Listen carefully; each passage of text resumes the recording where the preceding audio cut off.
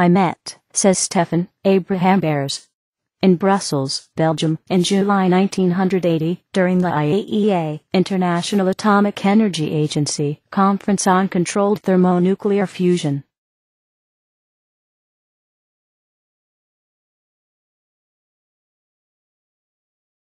The MIT Plasma Fusion Center and the Bers Group were among the finest plasma research centers in the world.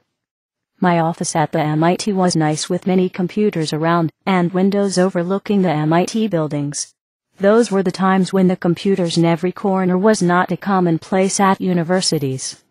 Only the wealthiest universities, such as the MIT, could have afforded it. I have always thought of Abraham Bers as the Arnold Sommerfeld of the American plasma physics. A number of brilliant American plasma physicists of my generation were trained in the Bers School. Vicky Weisskopf of the MIT, when he was my guest in La Jolla in 1992, also emphasized the great importance of the Sommerfeld School for the development of quantum mechanics. Werner Heisenberg and Wolfgang Pauli were Sommerfeld's graduate students, among others. Quantum theory had many conceptual difficulties, but Sommerfeld used to encourage his students to focus on formal calculations, hoping that in time the conceptual difficulties would go away. Nothing of that sort has ever happened. The Einstein-Bohr controversy in quantum mechanics had ensued, and it is a hot topic even today.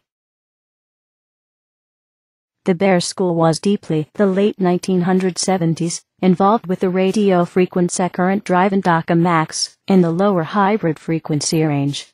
I concentrated my research on electron cyclotron frequency range, which was a thoroughly new research area.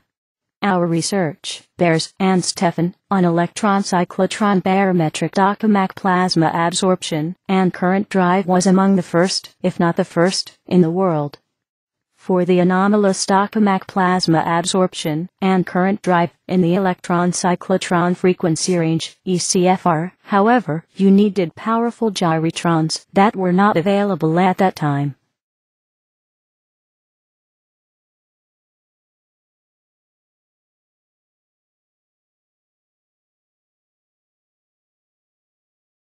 Recently, 2016 the Bers' monumental work in plasma physics and technology, entitled Plasma Physics and Fusion Plasma Electrodynamics, has been published by the Oxford University Press, USA.